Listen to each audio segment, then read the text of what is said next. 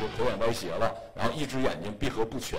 这位外籍男子啊，自以为是中风，但是实际上呢，哎，是急性的面神经炎。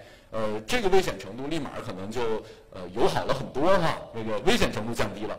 毕竟急性的面神经炎跟这个中风它是不可同日而语的。是啊，咱直播间里头有课代表啊，给咱科普呢，说这个面神经炎，用咱老百姓的话来说，那就是面瘫，对不？对，就是我们老百姓说的面瘫或者叫掉线风，它多半是由于这种病毒感染之后造成的面神经的水肿、脱水鞘啊，有一些严重的病例呢，还可能有轴索的变性，出现了面神经支配肌肉的这种瘫痪。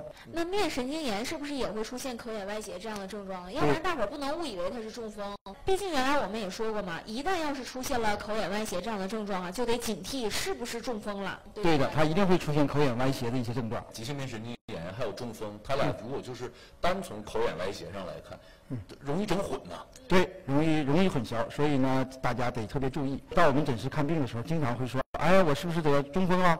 或者是我这个得脑血栓了？”这样的病人来找我们，需要我们来医生看。但是医生一看呢，经常通过自己的观察，就能大致上分出来，说你可能是内神经炎啊，你可能得的是中风啊。那那咱们说它的紧急程度可能差不少。对对对，因为急性卒中我们强调呢，治疗的时间窗一般我们说溶栓一般现在在四点五小时以内可以，这个老百姓说的一针通，我们进行溶栓的治疗。但是面神经炎一般来说就没有那么紧急，你大概急性期来一两天、两三天，这些都没有太大的问题。嗯嗯。那虽然他俩挺像的，但是那个咱们视频里那位医生小姐姐，那可通过视频连线就判断出来了，这个就是面神经炎。